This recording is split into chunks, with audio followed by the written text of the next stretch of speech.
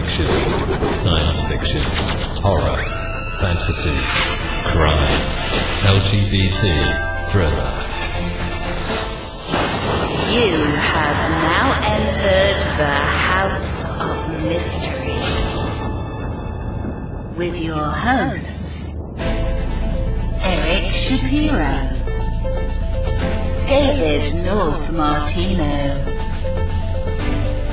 John Copenhaver, and Al Warren. Heard on KCAA 106.5 FM Los Angeles 102.3 FM Riverside. and 105.0 AM Palm Springs. Welcome back to the House of Mystery. I'm Al Warren. And I'm Kev Thompson. We've got the uh, lovely Aphrodite Jones with us, and uh, we're going to be talking about her new uh, edition of the uh, Michael Jackson conspiracy book. And there's all sorts of things in there. There's uh, special videos and everything. So, uh, welcome to the show, Aphrodite. Thank you, guys. Nice to be here.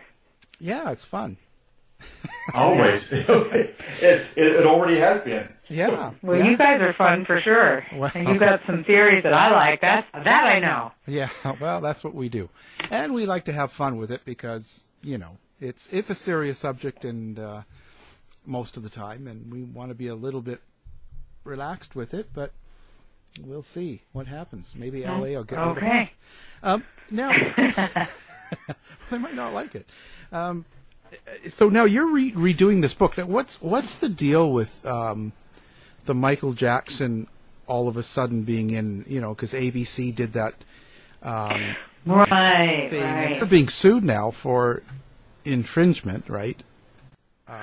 Well, yeah, it's interesting. The ABC, uh, what was the last days of Michael Jackson, uh, did use some footage of him, uh, you know, in his Pepsi commercial and, and different footage of him as a young man, you know, trying to break out on his own and talking um, to Diane Sawyer, to Barbara Walters. I think the public interest in Michael Jackson, I mean, right now there's a Pepsi can coming out with Michael Jackson on it. So the public interest in Michael Jackson has been revived because of his music. I mean, let's face it, this man's music is still some of the best music that anybody, you know, can listen to on the planet. Um, the dance music, the dance routines, the videos, uh, you know, they still stand out. They still, wherever you go, you're going to hear a Michael Jackson song at some point, and people are going to ha- be happy and, and dance. And kids, I mean, between Thriller be, being connected to Halloween these days, I mean, it's become a commercial enterprise beyond anything I think he dreamed of in his lifetime. I think they're making billions of dollars, the estate, from it. And people are obsessed with the music, obsessed with the person, and they want to know more about Michael Jackson because now, 13 years after the man was exonerated, and it'll be next year 10 years since his death, people are realizing that this this talent is gone from the planet, and, and we're we're never seeing the likes of him so far again. But on that um, special, I don't know if you saw it. I saw it. It was um, I thought. Yeah, Yeah. I, I'm not sure. I, I I liked it. I, I don't know. I didn't I didn't come out of it with anything new. No, there wasn't anything particularly new about it, honestly. Um, you know, we already knew about obviously Conrad Murray and and AEG and and and how they, you know, hired Murray for him at his insistence and and we knew about the Pepsi commercial and we knew about how that started his devolution into uh painkillers and and they showed the videos of Michael, you know, saying that I've gone for treatment and the later one asking for his day in court. What I found interesting and curious was that they included Diane Dimond throughout the piece as one of the main commentators about Michael Jackson. And you know that she spent her, a large part of her career trying to destroy Michael Jackson. Yeah, that was an Um, odd choice.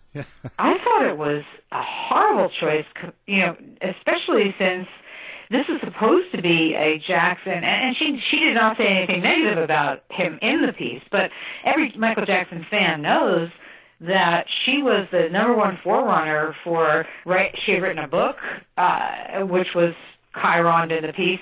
Um, trying to prove his guilt.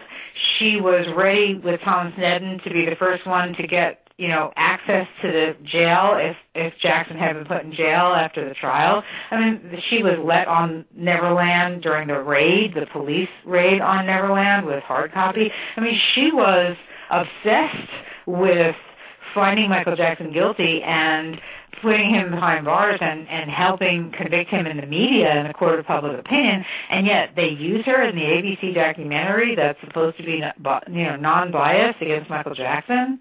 I I, I just Yeah. I was stunned to see her and see so much of her there. Yeah. And, and let's let's back up for just a moment though, because you said something there that's almost, almost, and Al, you know to expect this of me, almost reeks of conspiracy. Why would she be allowed during the raid? That that is mm-hmm. police procedure. That is, you know, we're collecting evidence here. Why is she allowed to even be anywhere near it?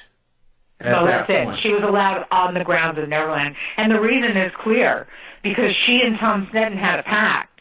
Because Tom Sneddon and I spoke to the police in Santa Barbara at the time of the trial and asked them uh, an elusive question, and the answer to about whether or not he would be found guilty. And the answer came back, either way, we've accomplished what we've wanted to. In other words, it was more Image. important or as important to them to convict him in the public eye and in the media than it was to put him behind bars. Yes, that is what they really wanted. And that's what they got. Image. It was more image than litigious. Exactly. In other words, Sneddon obviously wanted to have him behind bars, but the rest of the police force that were behind it weren't so interested to see him behind bars, but to make sure that the public would never, he would never, right, as you say, image, have this, have an, a good image again, that he would be destroyed. And, and they managed to destroy him, and Diane Dimond was part and parcel to it. Because she's the first one on loud on the on the Neverland property during the raid to have that access, and she was the forerunner during the entire trial of only only promoting things about his guilt, of never talking about anything that was exculpatory, of being very one-sided. She was fired by Court TV immediately after the trial, and her book was a flop. Yeah. Uh, but why do you, why do you think she was after Michael so much? Like what what was her what was in it for her? Yeah, I think what was in it for her was imagine if you could take down the biggest superstar in the world almost single-handedly. Right. Right. Imagine the the journalistic reputation you would gain if you could somehow facilitate that.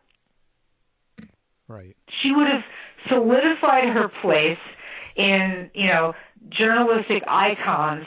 It, at least that's what she was hoping to do. That that's Ah. what would be the reason. I understand your theory, but let me disagree just a little bit.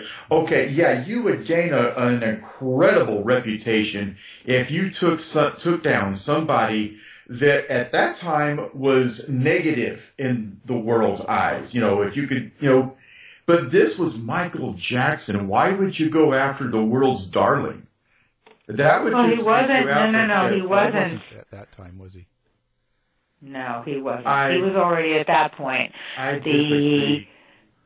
Oh well, I mean, okay, is that it? It may seem strange, but there was a confidential report that allowed Diane Dimond to think she was going to have a career, that she was going to wind up with, you know, this huge career because she is the one who broke his alleged predilection for underage boys back in 1993. So she is the one who wanted to finish that. I got you. Okay. She wanted to put the final nail in it. Right. She wanted to start it and end it.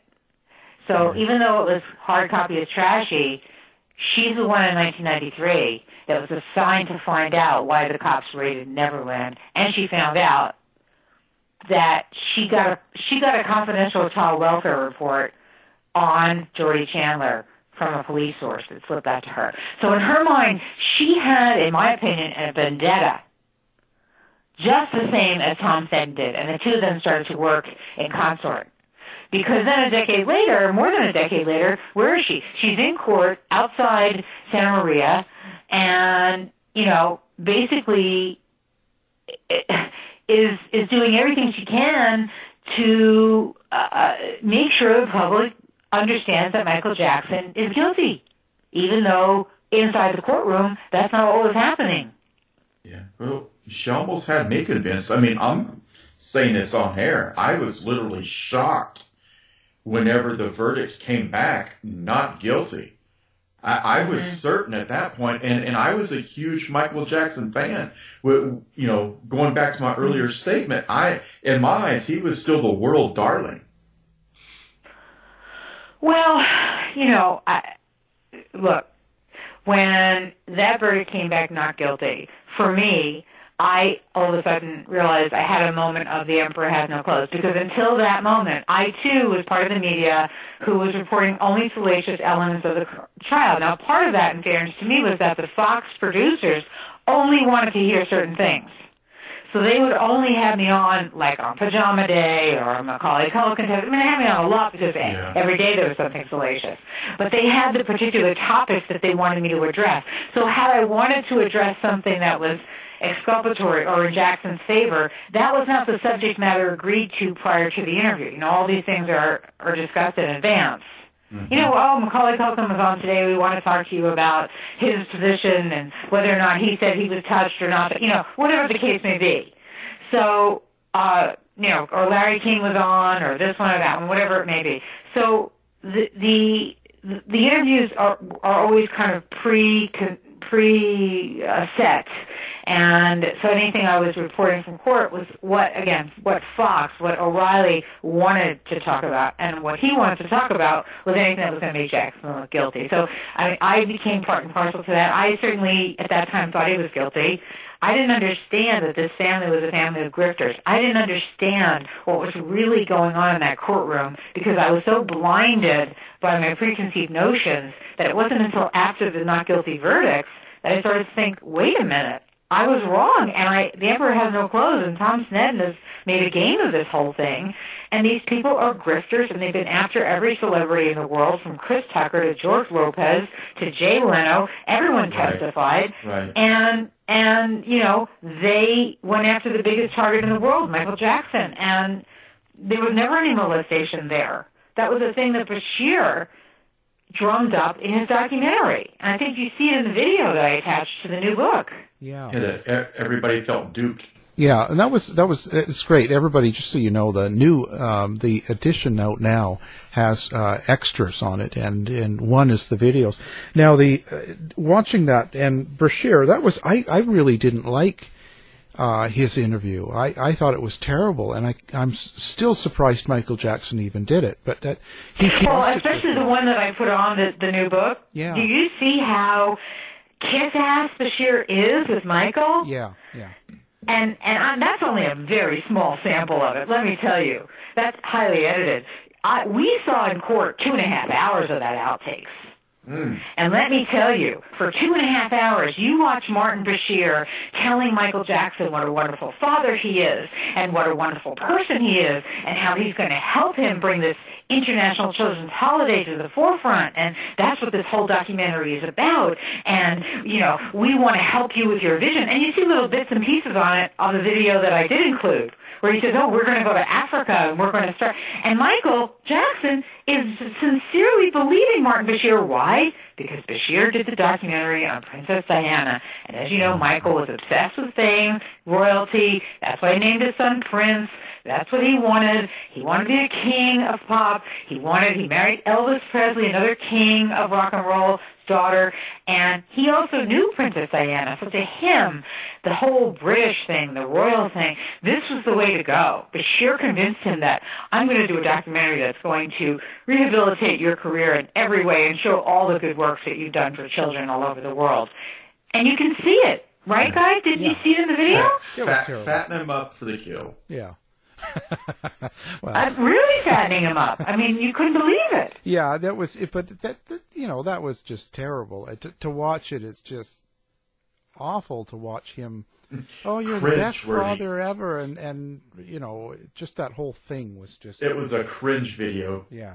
It was. It, it it really makes you cringe to see Michael Jackson over and over again, and the way it's edited, you see him in in the the blue shirt and the red shirt, and how how Bashir followed him around for a year, and Jackson didn't get any money for it. Jackson didn't sign any contract for it. He just let this guy carte blanche follow him around, and why? Because you could see it right there in that video.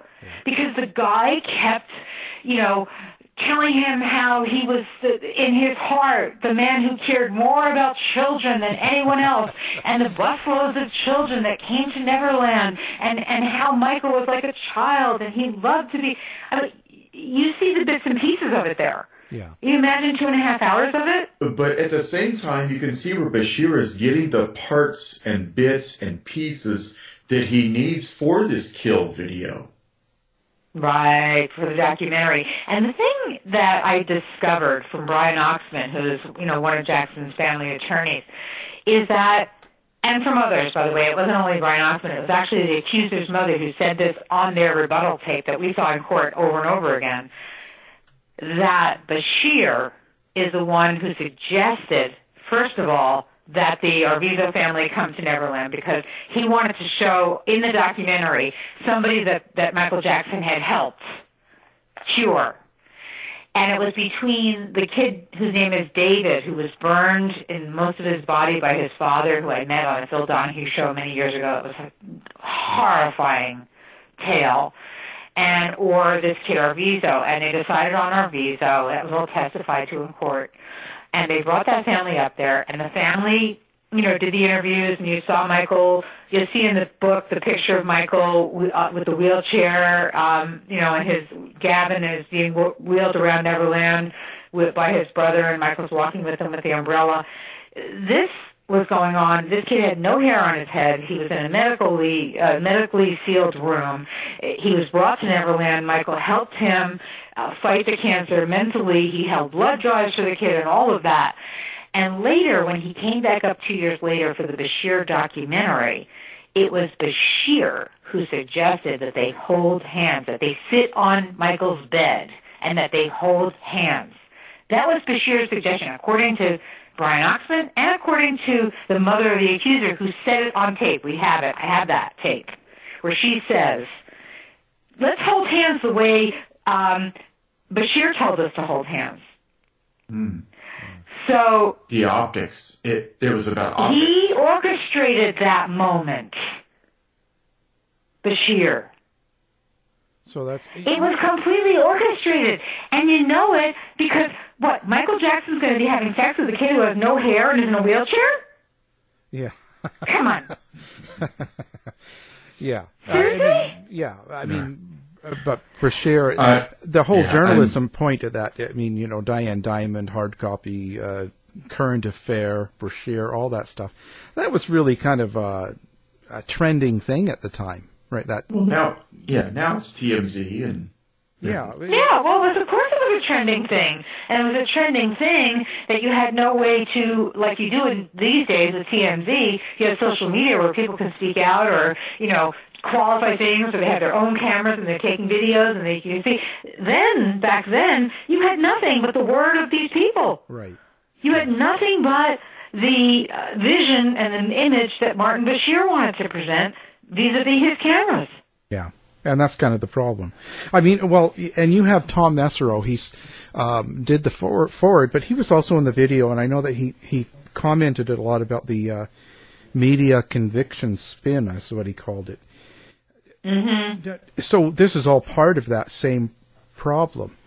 Uh, this this is the uh, you know a conviction in in the public in the media, and you've got people like that, you know, Dimond Bashir and all that kind of going around selling everything one way to people. The audience, that's all they're getting. Well, here's the thing. As Nezra pointed out on that video that you see, this would have been a cottage industry. We talked about it at length.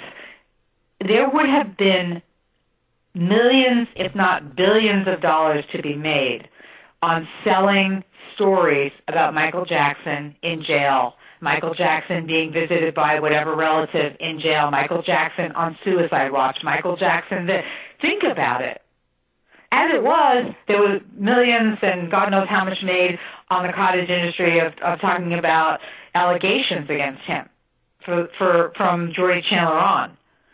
But now, with a criminal trial and everybody in the world paying attention, if he had gone to prison, to jail, it would have been a rocket boom industry for those tabloid journalists, and they knew it. Yeah, yeah. And that was really, and, and, and like you said, we didn't, you didn't have the people running around with their cell phones and their own, getting their own videos and, and contributing. It was just whatever they show and tell you. Right. There was no check system. There was no balance checks and balances. Do, It was all one way reporting. do you And think, that one way was against Michael Jackson. Go yeah. ahead. I was just going to say, do you think that that actually makes a difference in the courtroom, but? You know, Well, in the- the courtroom. yeah, the media, like, like when they, when the media is all selling one thing to the actual jury, um, are they affected by it? Well, you know, in this case, when I talked to Mesereau about the jury, whether or not he felt he could get a fair jury, you know, he said he went up to Santa Maria, he spent time in Santa Maria and realized that these were honest, hardworking people who could judge Michael Jackson as a peer and would be fair. And he felt them to be conservative minded, which actually I lived up there for those six months. They are more conservative minded in Santa Maria than any place like uh, Santa Barbara or Los Angeles, for example. So he felt he could get a fair trial there.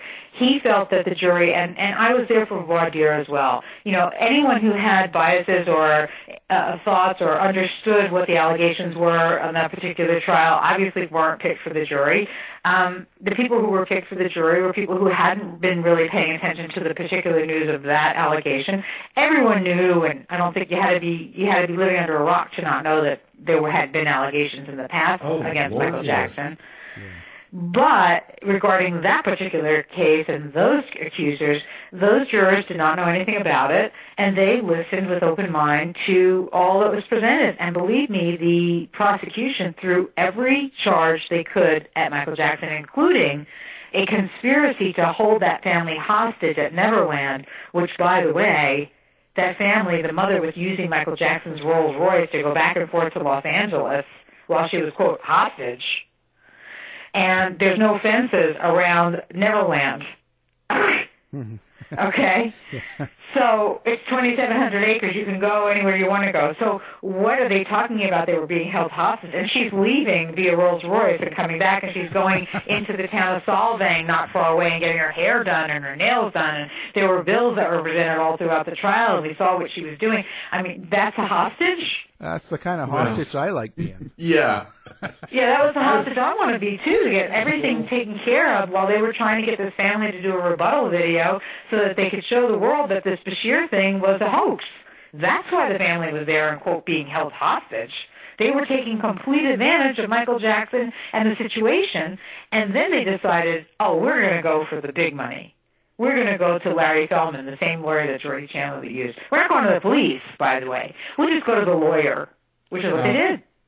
Now, Aphrodite, sometimes it happens. I was held hostage at SeaWorld for three days one time because they kept pushing me back inside the water to save my life.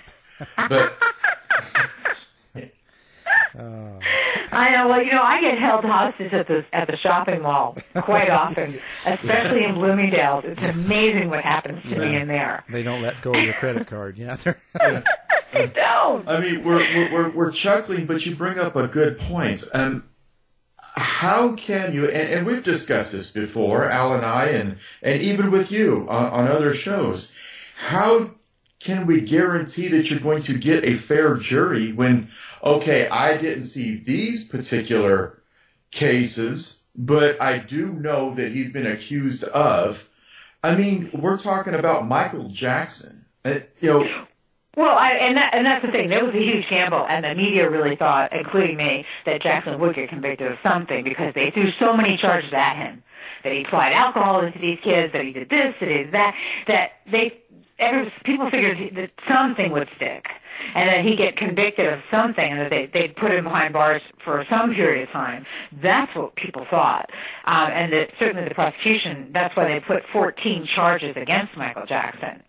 Um, the thing is that at the end of the day, the jury saw through all the lies and the smoke and the mirrors. None of the testimony added up. And remember, this family had gone after J.C. Penney's with a lawsuit that started because they stole items. The kids stole from J.C. Penney's, and when the guards from J.C. Penney's in West Covina came after that family in the parking lot, the family, the mother of the accuser, Janet Arvizo, claimed that she was sexually molested by one of the J.C. Penney security guards, and this, and I swear to you, this is what she said, that he twisted her nipples 44 times. Whoa. well, I don't on know. the parking lot asphalt of J.C. Penney's in West I, Covina. I count them. I don't know about you, but I count them. Oh, When it happens to me, I count them. Yes, yes, yes, yes. Of course. When I get molested like that and my nipples are twisted, I, I sit and count. I know it's 40, 41 or if it's 31, whatever it is. Yeah. I know. And she knew. She knew. And we heard that testimony. We heard the testimony about her going and get full body waxes in the salon in Solvang while she was, quote, being held captive by Michael Jackson and his people. Um, you know, eh, when you start to add it all together and you realize that those boys testified in the J.C. Penney lawsuit, those boys who stole the clothes that got them followed out into the parking lot to begin with, and that J.C. Penney's settled with them and that they were at the same time collecting welfare and that they she came forward with bruises that allegedly got, that was given to her by the guards, which didn't show up at the time of the arrest report or at the time of the incident, but showed up two days later because it turns out that her husband was a wife beater, which was proven and, and verified by court records and, and, you know, by criminal records.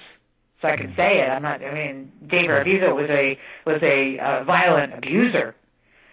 So all of those things came out in court, and you see this picture of this family. You start to see that there's nothing about what they're saying that's real.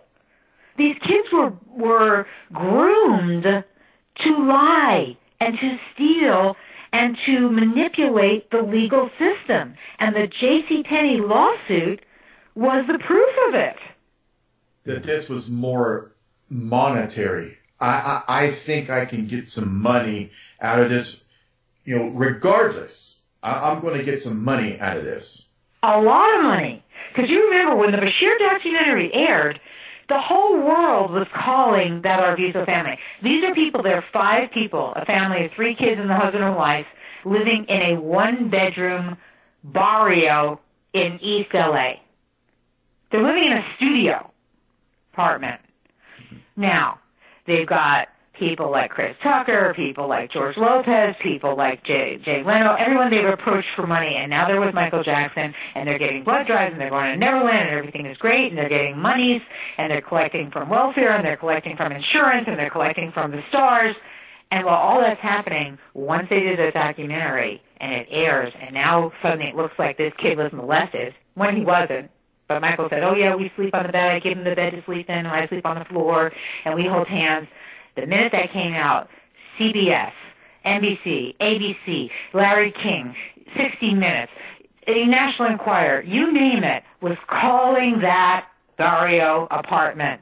There were notes pinned to the door by every outlet that could that found out who they were and where they lived. And you think that that wasn't something that, was tempted to them, that they were probably offered 50 grand, a 100 grand to give their story to the National Enquirer, and they're thinking they needed that money. But now they're thinking, wait a minute, wait a minute, let's go to Michael, because if they, if, if we're going to get paid that kind of money to tell our story, let's let Michael take care of us like he had been.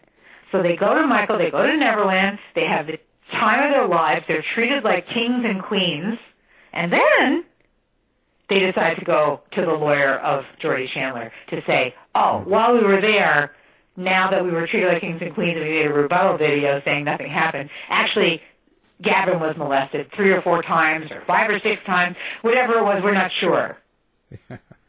Okay. Yeah. Well, A- Aphrodite, now now that we're here, let, let me drop this bomb. Oh. Yeah. here we go. I mean, I, I I've heard everything that you've had to say, and and I was uh, again, I was sympathetic to Michael, and hearing this information, why? And, and I understand there was a lot of cut, there was a lot of editing, but why did it seem like Michael Jackson did a lot of his own damage? He's not a stupid man. This is a man that made billions in in music. This is a man that mm-hmm. made billions in business and knew how to mm-hmm. market himself. Mm-hmm. Why why did he do things and continue to do things that would in any anybody's view make him look guilty? For example, he would say, "Well, there's nothing more natural than sleeping with children." Mm-hmm. Or, or you know, he's the one that actually brought up the, the, the Jesus juice, which led to him, you know, okay, he gave these children alcohol. But I mean, mm-hmm. he's, he seemed to do a lot of his own damage. Well, he, you're you're absolutely right. He did. He contributed to his own damage. Certainly, when it came to um, being open about the idea that sleeping with children was was a good thing and not a bad thing, and and and the Jesus juice, all of that that you mentioned. Well, here's what I have to say, and and, and holding blanket over the railing when he was with Martin Bashir, who got were able to capture that for his documentary as well. All of the various things that Jackson did throughout his life, especially in the latter part of his life, when he was admittedly a a person who was addicted to painkillers, when he was admittedly, you know, not entirely um, normal from the time of his childhood either. Um, Michael Jackson, you, you have to think about his view of the world, and it, it's almost impossible, but I have tried to view the world through Jackson's eyes because uh, uh, you know, I mean, you can't really, but if if you just think for a moment that you were a star as a five-year-old child or a six-year-old child, that you were on Yeah. stage, I remember and that Jackson all Five. you know is that you're on stage, and that you have a father, I met Joe Jackson, who's an abusive, violent man who's going to control you every which way he can, which he did, and that your family's livelihood is dependent on you because you're the main person in that Jackson Five. That's what he knew. That's what he grew up with. He grew up with his brothers all sleeping in the same bed. I've been to his house in Gary, Indiana, where he grew up. It's a teeny tiny place. The kids slept in the same rooms. They slept in the same beds when they were on the roads, for sure. He danced in nightclubs where the strippers would come on after he performed. They'd throw mm-hmm. money up on the stage, literally, and he'd collect it and go buy candy with it. This was his history. So, you know, to think about going through life with that as your starting point, where adults just want to use you, where adults just are there to get collect your talent and then skew whatever it is you're doing to their liking. And then even when he went with Quincy Jones and he started his own career, solo career, he still had to appease and do what everybody else wanted him to do. Uh, of course, he then made standards for himself that were out of this world. But at some point, he was so interested in getting attention that he got was, was getting too much attention.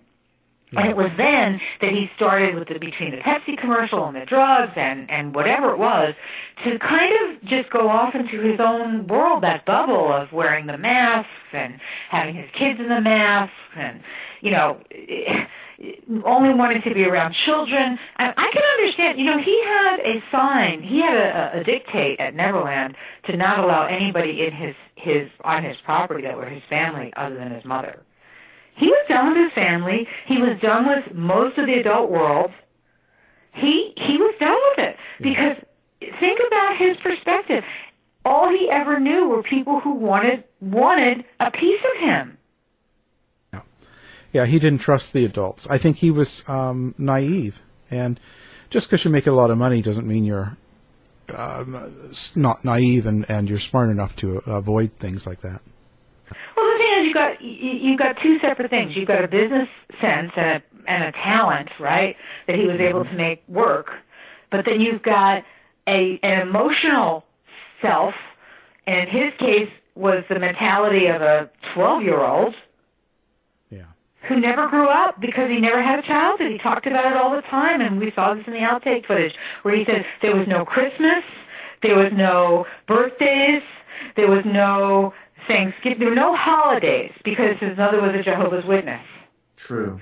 So they didn't have any holidays. Can you imagine having to be forced to perform on stage all the time, traveling all the time, up at night, three o'clock in the morning, you're five years old, you're eight years old, you're ten years old, now you're on Soul Train, now you're here, now you're there, now you're got Joe Jackson threatening and beating you, and you got Catherine, you're not allowed to have a, a, a Christmas, a present, a birthday, and anything. This is think about that combination, guys. Just think about that for a minute. If that was your childhood, and I don't mean it as as in a stupid way because I mean we all know that. But No. if you try to try to uh, really truly imagine that that if you grew up that way, what would you be like? Yeah. It reminds me of the dog on the Grinch. yeah. There is no Christmas. Poor guy. yeah, yeah, yeah. That's a good. That's a good uh, metaphor. I mean, that you know. The, I the, mean, the Peter Pan, didn't they call it the Peter Pan syndrome? Yeah, the Peter Pan syndrome. He didn't want to grow up because he he was always dictated to by adults, and he felt that the adult world was a scary, horrible place, and It he didn't is. want it. Yeah, I It agree. is. I agree with him. You know, I, I, I'm almost feeling that way. Like I just want to stay in my place and not go anywhere. Listen, I tell you, think about this too. Michael Jackson had gotten to a point where he could not move without paparazzi swarming all over him. That's why he started to wear those masks. Yeah. you know the, the the the face things, right? Right, right. And then he put the mask on his kids, and the more he covered himself up, the more paparazzi followed and chased him. So But like you've got Princess Diana, that. You've got to expect that, Aphrodite. he did expect it, but he got tired of it. He got tired of it, and that's why he wrote the song "Leave Me Alone." He was tired of it. He didn't want his children subjected to it. He had had it already with his life. Think about how you have no respite from it at all. Nothing. You've got to hide all the time. You can't walk out your door. I'll never forget he said in one of the outtake videos, uh, something in trial that we saw. They said, "Do you ever go to a supermarket and shop?" And he said, "No, I've never been to a supermarket." And they said, "Would you like to go?" And he said, "I they meaning Bashir." He said, "I would love, I would love to go into a supermarket and get a cart and a wagon and just put some food in there." And I thought, "What a weird," you know. And and then just so you understand my, my follow up to that, I went to Los Olivos, you know, near Neverland is that town. And I went in there's a little supermarket, uh like a like a not a supermarket, a a, a, mart, what do you call it, mini mart kind Right. of place. Not with a gas station, just a mini mart. And so I went in there because I figured, you know what, he lived up the road from here three miles. Maybe he came into this place. They sell soda and beer and whatnot. And, you know, cakes and hostess cakes, whatever. So I went in and I said to the guy, Do you own this place? He said, Yeah. And I said, So you know Michael? No, I didn't know him. Oh, okay. So then I stayed and hung around a little bit. I said, Didn't he ever come did he ever come in here? And finally the guy says to me, He did actually come in here from time to time. And I said, Really? Really he did? And I said, so you saw him? He talked to you? He said, No, he always wore a he always wore a mask when he came in. And I thought, oh my God, he got totally cuckoo. Because this was a little tiny town where, yeah, he'd be recognized, but that little mini mart, believe me, there's no one going in it. I mean, this was after the trial when there were no people around. Yeah. Like, there was no one going in it, believe me. Yeah. It's not near the hotels or the little shops or anything. It was on the edge of town there. Why would he need to be in a mask to go in the mini mart to buy Twinkies? Well, but he felt he needed to. He he turned into the caricature that you know the media portrayed because he didn't know he he didn't he didn't he just couldn't show his face anymore. He just he was afraid. yeah. He was not emotionally able to deal with it. I think that's it. I mean, he was like a child. It, it, imagine? Seriously, I, I'll never forget that moment being in that mini mart. I, I, I, I just, you know, looking around, you, you're looking around, you're seeing these, you know, the the cases of the beers and the sodas and the juices and the whatever Yoo-hoo drinks and whatnot, and and you know all the you know the cigarettes and whatever. And it's a tiny little store, and I'm thinking, you mean? To, and I'm trying to picture Michael in there wearing a mask, like he's he's three miles from his house. There's no other store near. He has to wear has to wear a mask. He can't just go in and get a soda. Well, yeah. No, They it's, couldn't. it's yes, forever Halloween. Yeah, yeah. Kevin always wears his mask when he goes to Walmart. That's just so I don't scare people. yeah, he's wearing his in Walmart because he doesn't want people to know. Oh my God. Well, let me tell you something. Kate Spade, you know, just killed herself horrifyingly, and her husband came out of their New York City apartment wearing a mask, Oh no. like a costume mask, like Oh, a plastic mask. Like he's the one that we should worry about. Like he's well, I I, think. I, I, I, I think he took a note out of Jackson's playbook. I don't know. Well, I, I'm trying not to get noticed, but you're going to get noticed wearing a mask because wearing a No, mask. he, did- exactly. he, he got noticed, but he didn't want no one could talk to him. What are you going to do? Talk to a plastic mask? yeah. Uh, I just uh, yeah, you know, uh, like I said, uh, the the adult world, I don't blame him. You know, I'm just drinking my Jesus juice. And, Well, I mean, like you say, he got himself into a lot of trouble. He got himself into a world of trouble by spending time with kids. And his manager said to him, "You better stop hanging out with these kids because people talk and people, you know." And and let's face it, the the, the settlement with Jordy Chandler, you know. That's a highly questionable thing. I think, you know, I, I don't know if we've talked about it before. I have my own thoughts. Michael Jackson fans want to say that Michael was innocent of everything, always and ever forever. I can't go that far. Yeah. And Jackson fans won't like that, but I don't know. I wasn't in his bed. I don't know what transpired between him and any of the young boys that he spent a lot of time with. I can tell you Macaulay Culkin testified that nothing ever happened. I can tell you that Robson testified that nothing ever happened. I can tell you that we heard from many kids that said nothing ever happened, but we also heard from others that said something did happen, but it was always maybe touching outside the jeans. It was, it was very uh, murky the way kids describe it. You never heard any kid say I was I was raped. Right. You never heard any kid say anything like what you hear in a Sandusky trial or anything like you hear even in a Cosby trial where, you know, I woke up and I was drugged and I woke up and, and you know, there was, you know, physical bodily fluid on me. You never heard anything like that about Michael Jackson. So when I say I, I can't go with the entirety of him being an innocent person I don't know, I can only go with what I saw and where I was and the fact that you know, this guy was so, you know, like you say, naive, Yeah. naive, goofy. Um, you know, you go inside Neverland, you look inside Neverland. There's some of those pictures in the book, and you see Goofy and Donald Duck and upside down mannequins and and and mannequins everywhere and and and wacko things that are all over the house mixed in with the marble statues and the the the fine you know artwork and everything else and you think what in the world was he doing? Well you know he was a child. He had all this money in the world. He was living on a 2700 acre estate. And yet he felt the need to bring in a zoo. He felt the need to have the chimpanzees with him. He had bubbles. He had whatever, all this craziness going on. And you look at those pictures and you start seeing the stacks and the piles and the, you know, in his bedroom and you see te- big teddy bears on his bed. I mean, this is not the stuff of molesters. This is the stuff of a person who never grew up. Yeah, and that's kind of my thought. I I think he was a big kid and he was naive, and uh, I think he was also trying to hold on to that childhood because he was becoming fifty, right? And um, it's, it's it's something we all deal with, but it's not.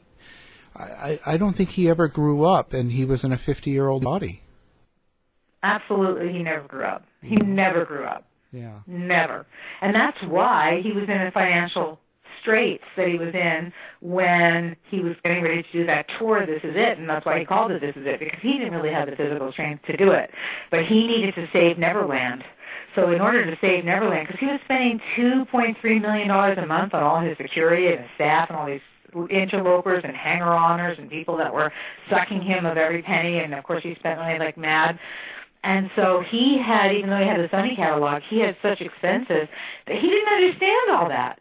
Yeah. He had no, there was nobody to uh, stopgap anything, Yeah. you know?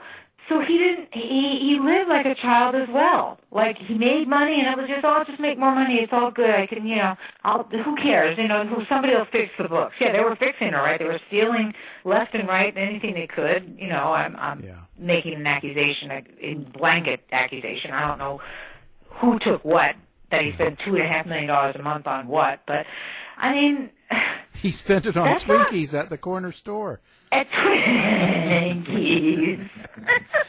I mean, it's really crazy. It's really crazy that he had such genius, such talent, and the ability to see getting the Sony catalog, which was brilliant. But he also lived like an absolute child, whether it was just eating ice cream and watching movies and being goofy on rides or going up in his tree where he wrote his songs. I mean, the whole thing, when you think about it, you think, how crazy of a life did this person lead? Yeah. Yeah. I mean, it's not much different than mine. No. well, I, you know, I always go up in my tree whenever I'm, I'm, I'm, when I decide that I'm going to write a new book. I'm going to climb the big tree in my backyard here, Yeah. and I'm going to sit up in it like Michael did, and I'm going to just get, you know, all my ideas. That's what I do. And he did do that. He did do it. Yeah.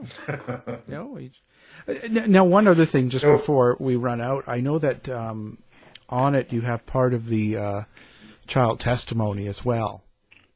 Mm-hmm. Now, and and you, uh, His police interview. yeah, Yeah. and I really, um, I really kind of agree with what you're saying. I, I think that, uh, and and how do I say it? He he almost tried to make him uh, you, like you couldn't, you didn't really believe him. The accuser. Yeah, I, I, I didn't believe him. I mean, I know there are people that argued when we saw the entirety of the video, and there were people who argued, and without even seeing it, that say, you know, kids when they're being interviewed by police aren't going to seem believable because if they've been molested, you know, that's a kid and they're not going to seem believable. But there was something about the way he said it. He grabbed me. Almost It was coached. like it seemed coached. It, it, it seemed rehearsed. yes. yeah, yeah. That's and that's what the jury thought. That's what the jury thought. I mean, you see that in the interview where the foreman says it. yeah, yeah. It, it you know, and they got to see the full interview. We only, you know, I only put a snippet there, but it's enough of a snippet to say to yourself, you know, and this is this is a little bit uh, overly, uh, you know, dramatic or overly what's the word gross i don't know how to say it but you know this kid was asked if he knew what ejaculation was during that police interview and he hesitated like he didn't know Yeah. and when he did that that's when i turned to the court reporter and i said do you have kids and she said yeah i said does this make any sense to you she said no i said oh, okay kind of a the, the whole thing is, seems a little a little strange to me. I, I don't I, I don't know. And and and you had the uh, foreman, jury foreman, on there as well, and he's talking about what that grandma that came in right after they um, got done with the trial and uh, before, the- mm-hmm. and she just s- slammed her hands on the table and said he's guilty. Mm-hmm. Mm-hmm. Yeah, that was the older woman on the jury, and and she had made up that made that decision before they ever deliberated. So they had to he had to go to the judge and say, look, at you know, what do we do? Because now we have a juror who doesn't want to deliberate, and so they came back, and he came back and said, no, they didn't get an alternate. She she agreed that she would deliberate what the evidence was. So actually, you know, technically, had Mesereau known that at the time, I'm sure that would have been a big stink. But as it turned out, it was between the judge and the foreman, and they let her stay on because she agreed that you know you you signed up to deliberate the evidence. You can't just have decided this before you got on the jury. So she deliberated, and she ultimately came to the not guilty verdicts on ten counts. That was lucky. But uh, lucky, Lu- uh, uh, yeah, Al, you're right, lucky. Yeah. But how can they do that, Aphrodite? I mean, this woman has already made up her mind. Okay, well, you agreed to deliberate. Big deal. You've already told us. You, you've already Right, given us a, a state of mind. I would have went with an alternate juror and said at least this would appear to be more fair. Well, I don't think they knew. I don't think that was something that was known at the time. He went to the judge, and the judge, by the way, Melville, was partial, in my opinion, to seeing Michael Jackson convicted. I know that because I had to get the court order from him for the evidence, and I went to see him in chambers. Mm-hmm. And from what his tone was, let me put it that way, he's and I, he- I hate to say this, speak about the dead. He's gone now, but his tone was everything but letting me know that he had wished that Michael Jackson had been found guilty. And from his rulings, even in court, and his demeanor, I felt, while he tried to hide it, that there was a favorability to the prosecution from the judge. So, you know, all of that taken together, you know, you start to think, yeah, the jury foreman probably went to the judge and said, this woman banged her head on the table and said she, and the judge said, look, just go back and tell her to deliberate without going to the counsel. Obviously, had Mesereau heard that, he would have thrown a pitch fit. Yeah. She would have been off. Yeah. Wow. Yeah.